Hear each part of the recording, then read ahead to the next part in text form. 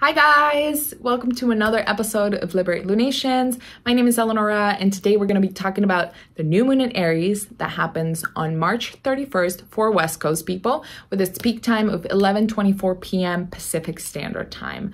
Um, honestly, I don't know if it's because where Aries is in my chart, but Aries new moons are always such a good time and this one is really juicy, so let's go.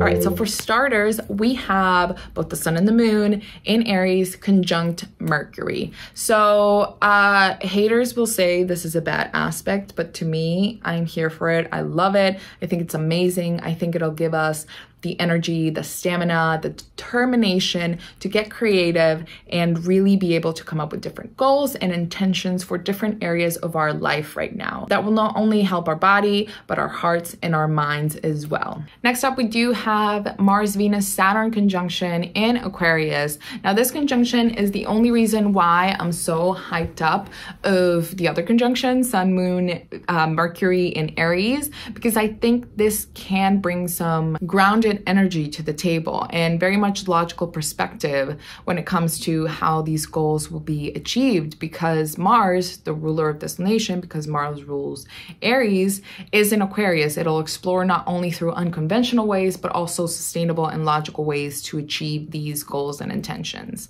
Um, especially having the help of a dignified Saturn in Aquarius, as well as Venus, which rules money and uh, values. I think we can come up with very possible ways of nurturing our goals and our intentions this time around with the right amount of inspiration behind them. To wrap up, we do have a Jupiter Neptune conjunction in Pisces, and this is heart eye emojis to me.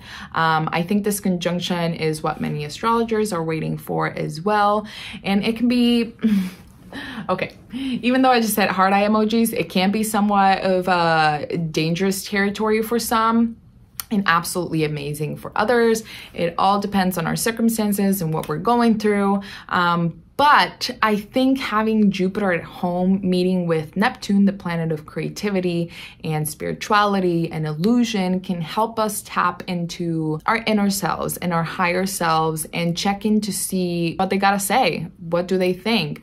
Also, perhaps checking in with guides, with angels, with ancestors, um, with your team up there can help too to get some perspective and some messages and downloads about what we would need to be really really concentrating and manifesting this new lunar cycle. Overall, I think this will be a great conjunction, but it does always make me a little nervous, and I want to make sure that everyone knows everything in moderation. Um, sometimes overindulging can take you to an extreme, especially when Neptune is involved, because it can be a little bit of a delusional planet. But my hope is that Jupiter comes through stronger. All right, now we're gonna pull a card for you guys.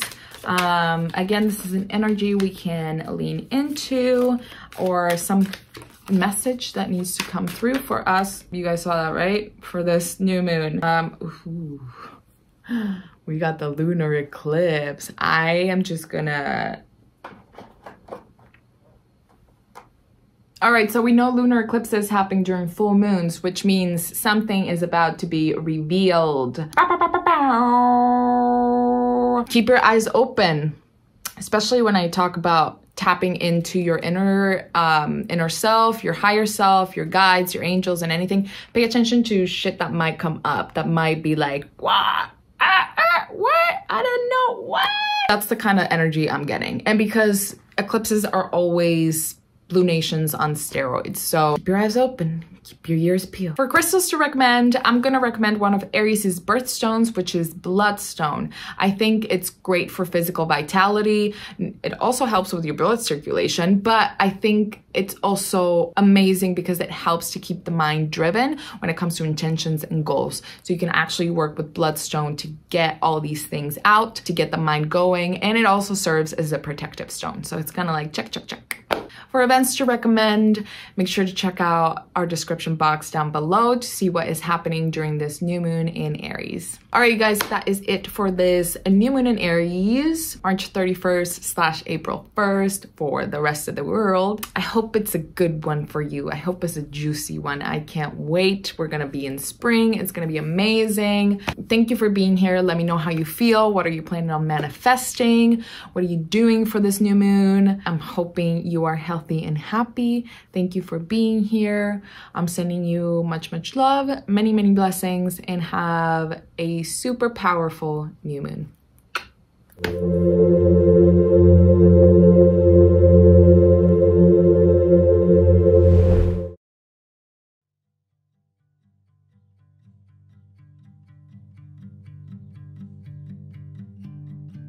A reading is a shared time and space with someone who is spiritually connected. An opportunity to get clarity and reassurance, um, guidance on any area of your life that you may feel stuck or not in flow with.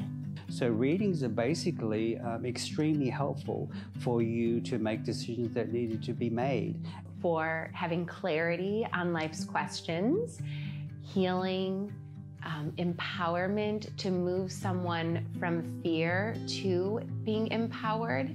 When you're feeling stuck, when you can't answer the question yourself, when you find yourself in a little bit of a spin out. I don't think there's anything that a reading is not good for.